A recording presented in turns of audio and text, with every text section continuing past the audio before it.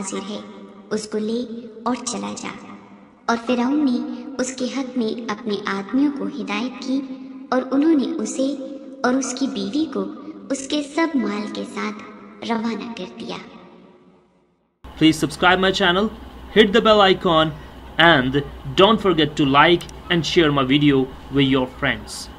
Thank you.